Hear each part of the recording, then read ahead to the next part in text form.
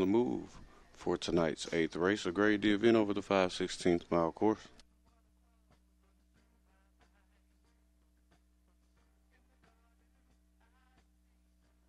Then here's Wishbone at the break.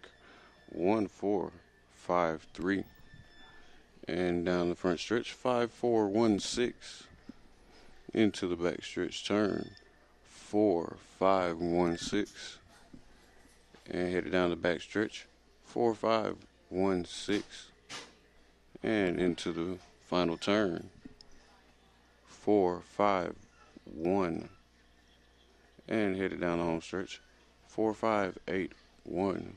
Four, five, eight, seven at the wire. Please hold all mutuel tickets to the race results have been declared official. Running out of L&M Racing, Lonnie Smith, your trainer, running the place.